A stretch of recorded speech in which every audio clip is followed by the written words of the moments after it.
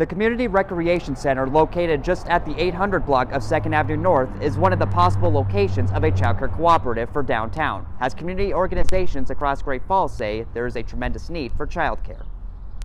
Discussion started in February of 2020 when Family Connection said the nationwide shortage is creating challenges across Great Falls. All across Montana and really all across the country, there's a shortage of childcare everywhere. Most childcares have a waiting list, and there's very little non traditional care like evenings, weekends, early mornings. A recent study by the Great Falls Development Authority shows that the need is increasing. We chose the downtown area specifically because of the business center of the city.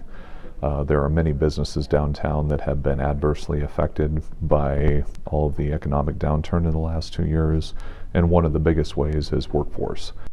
The group is currently in the process of exploring facilities to meet childcare needs and believe a downtown location will benefit both parents and local businesses. This study showed that there's a severe shortage in Great Falls and then also in, statewide. It's not just a local problem.